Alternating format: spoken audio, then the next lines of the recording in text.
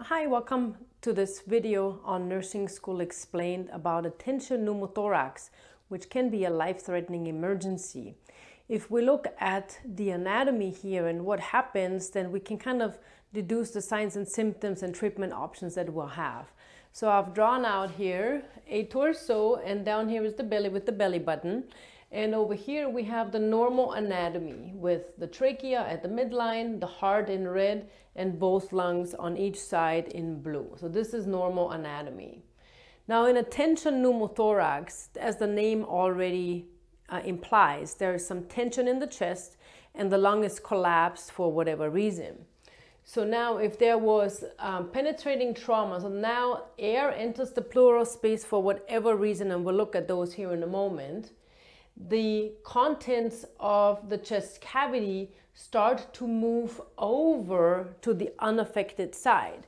Because now there's air in a space that it doesn't belong and every time the patient inhales it pushes the contents of the chest over to the other side to the unaffected side. And this is also called a mediastinal shift because all the contents in your chest cavity are referred to as the mediastinum. So this mediastinal shift happens due to this increase in intrathoracic pressure.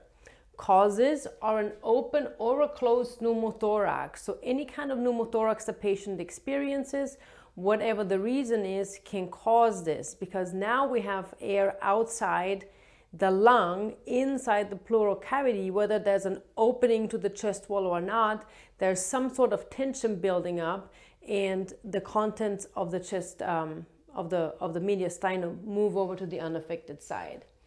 Mechanical ventilation can also cause a tension pneumothorax, and what happens here if the ventilator malfunctions or maybe there's too much PEEP, positive end expiratory pressure, the um, that, that fills up those alveoli, it can burst the alveoli, they can burst open, these blebs, they can rupture, now the air escapes from the lung itself into the pleural space because now that bleb has opened and then it, it gets contained in the pleural cavity but again it enters that cavity and it pushes the lung over because the air is not supposed to be in the pleural cavity it's supposed to be contained inside the lung.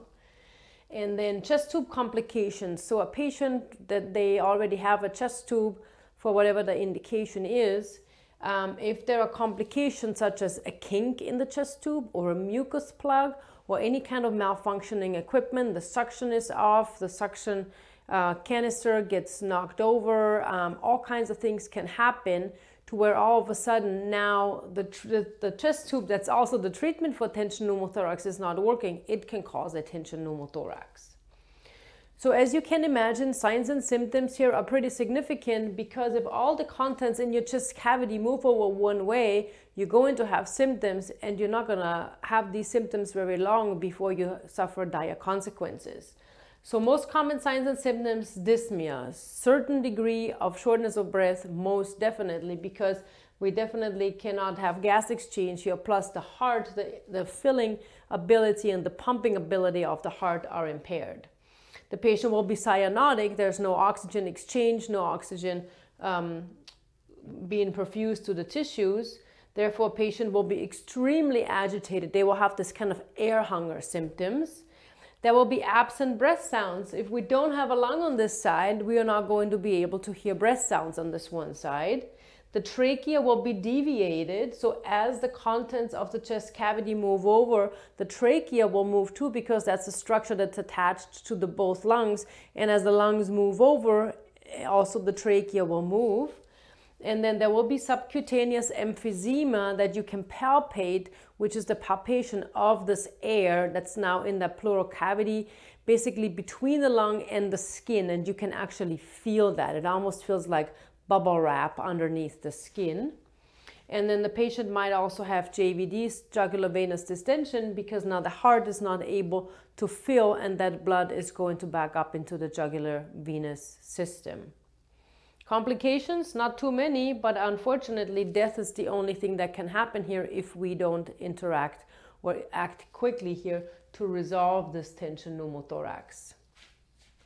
As a um, diagnostic test. Sometimes a chest x-ray is required. Sometimes the signs and symptoms are so significant that you don't even have time to snap a chest x-ray um, to before actually treating this.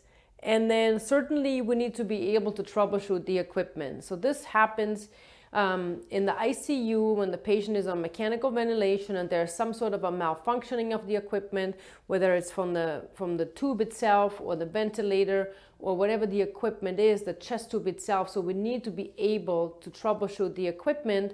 Of course, these are nurses that are highly trained in these areas that have experience with this, this equipment and also know how to troubleshoot it. So it's very important that you know how to work the equipment that the patient is hooked up to so that you know how to solve any problems that might arise.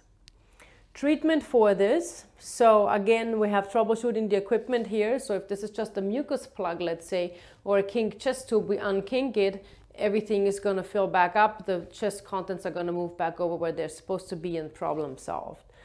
Um, but if it's not, we, we might need to perform a needle decompression, which is basically just like it sounds, a needle inserted in the upper chest cavity here between the ribs. And this needle just lets the air escape um, out of the patient's pleural cavity so that then the contents of the mediastinum can expand and go where they're supposed to. And then a more definitive treatment is a chest tube placement if this is a new tension pneumothorax, and that's probably most likely going to be because of some traumatic injury. Nursing care, again, this is um, very a very sick patient. So in terms of our A, B's, and C's, air, we want to make sure we provide supplemental oxygen to the patient, elevate the head of the bed unless it's contraindicated for whatever reason. If this is a trauma victim for example and we still need to protect their c-spine. And then we need to have the intubation equipment ready because this can this can go south pretty quickly and then for B, for breathing, everything except everything that we had here for A on the airway, but we're also, of course, going to monitor the patient's O2 sat to see how they're perfusing and oxygenating. For C, circulation, we want to make sure we have two IVs uh, large bore IVs in this patient because they might need fluids administered, they might need blood products if it's a hemothorax, um, or we might need to administer vasopressors if um, the patient's blood pressure gets really low and we can resolve it quickly. And of course, we want to do frequent vital signs and place the patient on the heart, heart, heart monitor. Um, and so nursing care, again, always troubleshoot the equipment and assist with any procedures such as the needle decompression and chest, chest tube placement.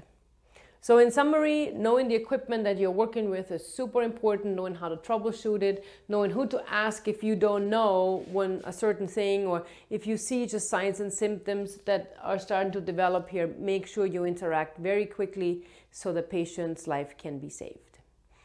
Thanks so much for watching this video on tension pneumothorax. Also check out my other videos in the emergency, disaster trauma management playlist, as well as the critical playlists to get more familiar with these kind of topics. I also have lots of videos on mechanical in, uh, ventilation, intubation, and all the equipment. Thanks for watching Nursing School Explained. See you soon.